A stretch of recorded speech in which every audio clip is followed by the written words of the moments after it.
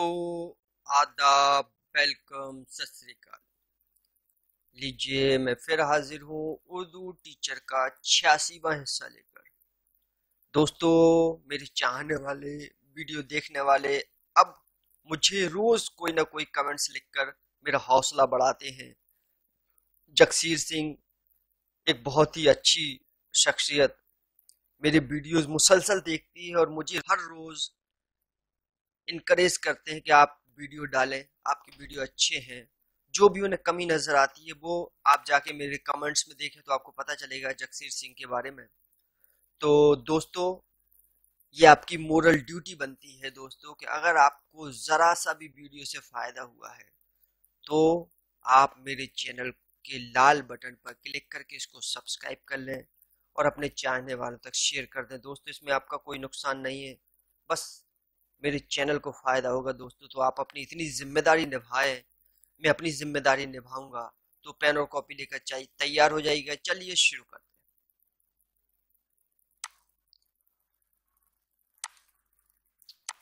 اردو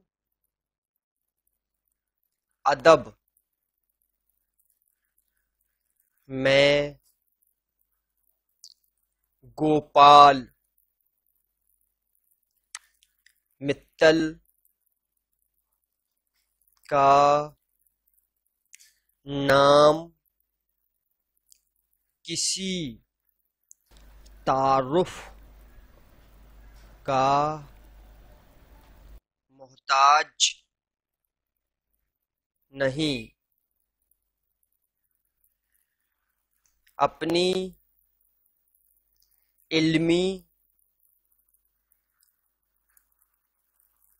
بصیرت فکر و نظر کی گہرائی اور بے پناہ ادبی۔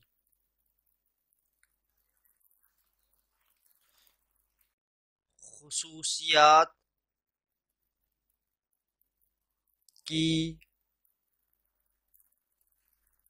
بدولت انہیں بہت شہرت اور عزت نصیب ہوئی۔ گوپال متل کی پیدائش مالیر کوٹلا کے ایک خوشحال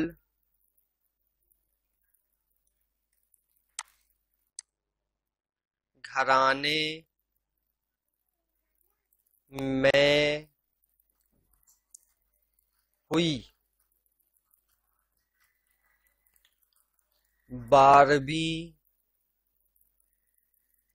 تک کی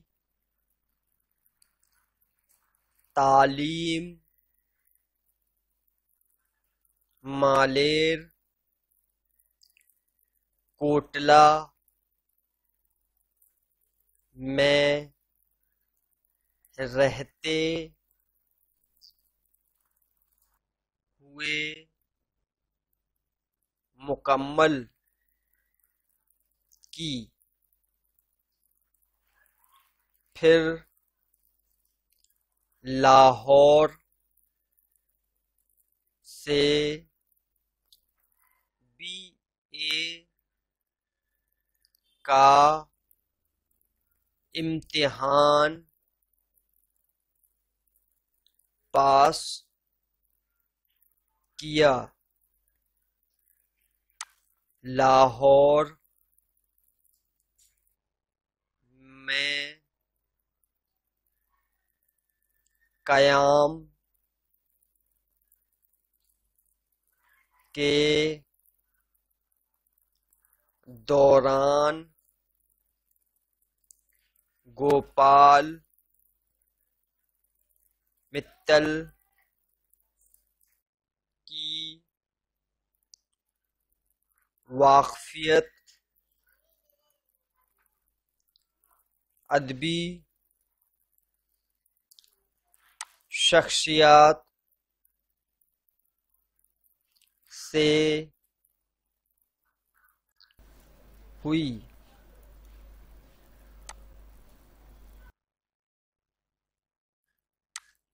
شاعری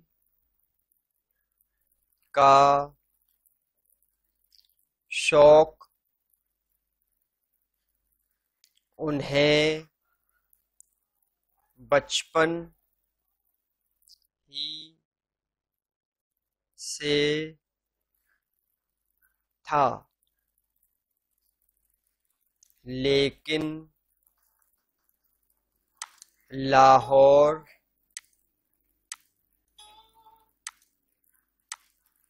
لاہور کی ادبی انجمنوں نے اس شوق میں اور بھی اضافہ کر دیا۔ بی اے کرنے کے بعد گوپال متل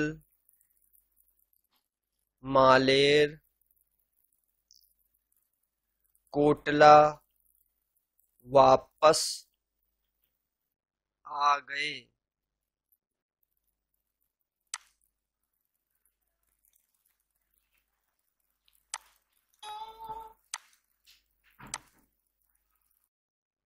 مالیر کوٹلا آنے کے بعد انہیں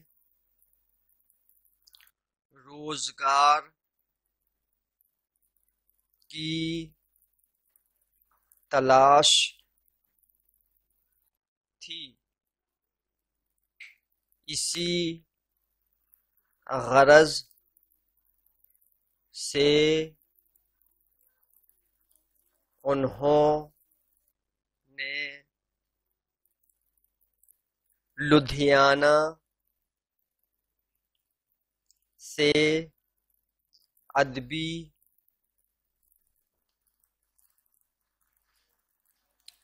جریدہ کارنامہ کے عنوان سے جاری کرنے کا فیصلہ۔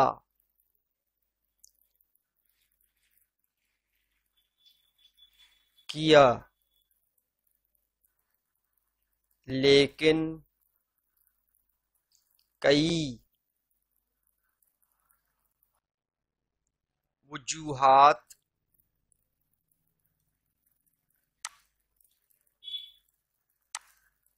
کے باعث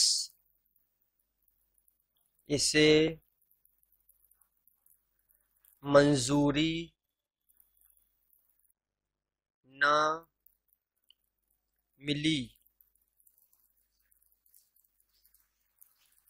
گوپال متل کا خیال تھا کہ اسے نواب مالیر کوٹلا کی وجہ سے منظوری نہیں ملی کیونکہ وہ